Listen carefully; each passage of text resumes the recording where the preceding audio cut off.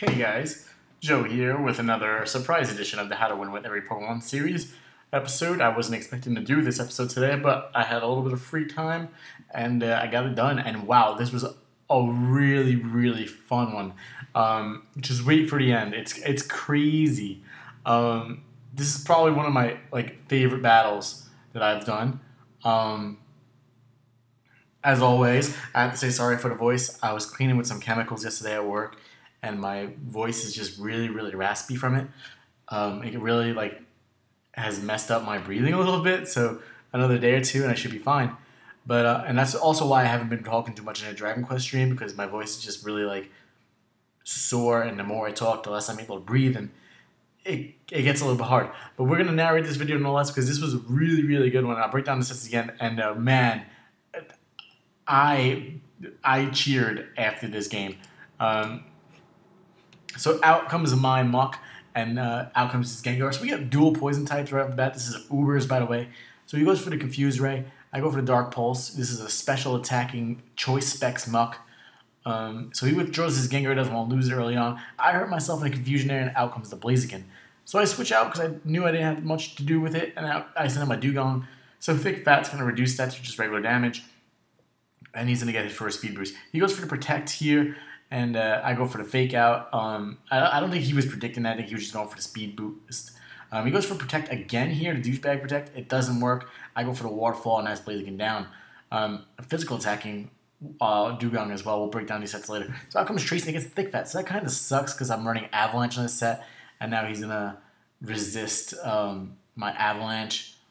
Um, so that that sucks. Um, that would have been a nice amount of damage. So I switch back to my Mucko's Energy Ball. I was afraid he had Psychic here, but he doesn't. He goes for Dream Eater. I'm not too sure what that move was, but I appreciate it. Sludge Bombs and a wipe out Gardevoir. So out comes Tyranitar. Tyranitar posed a lot of problems for me in this team. Um, so I swap out. I send out my Shellder. Um, he sets up Stealth Rock. Um, so he goes for the Thunder Punch. Nice, interesting move on Tyranitar. I go for the Clamp. I got a critical hit. Um, there's a lot of critical hits in this battle, but Sandstorm's raging, so I'm going to be taking damage. This is an Eviolite set, obviously. Um, Thunder Punch again, and I get fucking paralyzed. So uh, that sucks. I get Toxic out. I'm buffeted by the Sandstorm again. So he's get, taking Clamp and Toxic damage. That's going to start building up real quick. I go for the Protect. Uh, he goes for Thunder Punch again. I'm wondering if... Um, oh, it was leftovers on Tyranitar. Um, so he's down to a good chunk of health, and Thunder Punch is going to come and beat me. Um, so that's unfortunate. Um, I don't know what I was thinking with this next move. Uh, actually, no, this isn't it yet. I go for Muck. He goes for the Earthquake. That takes me out. I was almost sure he was going to go for the Thunder Punch, but good move there with Earthquake. Um, and then I send out my Dodrio, and this is a really unfortunate moment. Um, I go for the knockoff. It doesn't fucking kill it. I figured even though it was resisted, it would take it. I, I would be able to knock it out, and the Thunder Punch is going to come and just destroy me. Fortunately, Tyranitar goes down to uh, poison as well. So now it's three all, even though it was just six three, and I had a huge advantage. But uh, so yeah, so Sceptile comes in, he's going to Mega Evolve. I saw that one coming a mile away. I go over to Fake Out. I get a crit again, so that does a nice chunk of damage. Um, I know I'm not going to be faster than it, so I just leave my Dewgong in. Uh, I was hoping to go for a Swords Dance or something, and I, I could get the Avalanche out, but he already knew I had Avalanche, so he knew he had to take me out. So comes Grandma, there's a car crash right outside my window just now. Um, that, that's crazy. So I go for Infestation. It's Infestation Toxic set. Um, and he's to go for the Dragon Pulse. I'm tempted to look out my window to see. Um, but I'll, I'll, finish narrating this. So this is a really bulky Grimer resting set. Um, I call it Resting Grime Face. And it makes sense considering that a, Alolan Grimer was announced today and looks pretty cool. Um, so Infestation is going to start running a, ball Grimer, not a Muck, because um, Muck is dead. And keeps going for his, I get Sleep Talk Rest, of course, because, um, you know, that never happens, ever. Um, and Sceptile's going to start losing out to Infestation. I'm going to wake up, go for the rest again. Um, he starts playing Giga Drain moves to try to keep his health just high enough to not die from the Infestation here. This is a little bit of a longer part of the battle. There's a lot of stally things on this team. So I'm down to Grimer and Seel, and I still have to take out Gengar. I still have to take out Mega and Greninja. Um, so things aren't looking really well for me right now, but I figured I'll upload this video anyway, regardless if I lost, because I, I did well with this team. Um, the infestation is really starting to run its toll now. Um, I know he's not going to be able to take me out. Um, I wake up here. I just go for the rest again just because I want to stay healthy for Gengar. Um, and infestation is going to take Sceptile out, so that's nice. Um, so out comes Gengar, who took a ton of damage earlier. He goes for the Confuse Ray. So now I'm sleeping and confused. Um, I hurt myself in confusion here, of course. And uh, so I'm going to take a Shadow Ball hit. It actually does a lot of damage to me. And um, I, I, break through the confusion and I get Toxic off. Of course, Gengar's immune to Toxic. So that sucks.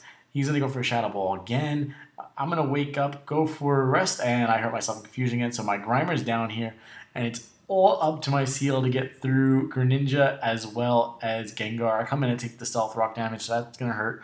Um, he explodes. It doesn't kill me. Um, I thought he, I think he thought I was to break through. So I'm down to about half health here, and out comes Greninja. So he goes for Dark Pulse. Um, it doesn't really do too much. I could survive at least two more hits. So I go for the Attract, right? Um, he's in love with Seel. He gets through, gets Dark Pulse again. I'm down to hardly any health. I flinch man. So he's in love with me. He gets immobilized by love. So comes body slams a crit. I get the lucky paralysis here. So now he's attracted and paralyzed, and uh, he's gonna get paralyzed there. Um, Water Pulse just going for the confusion here. Uh, he paralyzed again. Um, Water Pulse again. Another crit.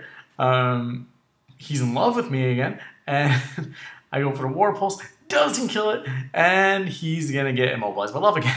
So out comes my Seel, and my Seel clutches the victory for me, and that was crazy. Um, this might be my favorite battle of the series. Just Seel so clutch. Um, so let's break down these sets. Um, so Dodrio was a Toxic Orb early bird set with Facade, Drill Peck, Knockoff, and Quick Attack, Max Attack, Max Speed, Adamant Nature. Seel was Eviolite Thick Fat, Body Slam for Paralysis, Protect, Attract, and Water Pulse. So at the end of it, you have maybe like a 10% chance of attacking um, and breaking through all that if you get confused, attracted, and body slammed with the paralysis. And I had Protect on there as well, just to like buy another turn. If you know, try to hope he attacks himself in confusion. So that's a max HP, max special defense, and that's a um a calm nature. So my Dewgong was Fake Out, Drill Run, Avalanche, Waterfall, Expert Belt, Thick Fat, Max HP, Max Defense, and Adamant Nature. Grimer was Eviolite with Stench, Infestation, Toxic, Rest, Sleep Talk, Max HP, Max uh, Special Defense, Calm Nature. Muck was Choice Specs with Stench, Dark Pulse, Flamethrower, Giga Drain, and Body Slam, Max HP, Max Special Attack, Modest Nature. And finally, Shellder was Eviolite with Shell Armor, Protect, Clamp, Explosion, and Toxic, Max Health, and uh, max special defense, and that was running a lax nature. So yeah, thanks for watching. Like, subscribe. I'll see you guys next time. Enjoy this battle. If you want to uh, comment a theme team down below, you can do that. If you want to challenge me, you can do that as well. Thanks for watching. I'll see you guys next time.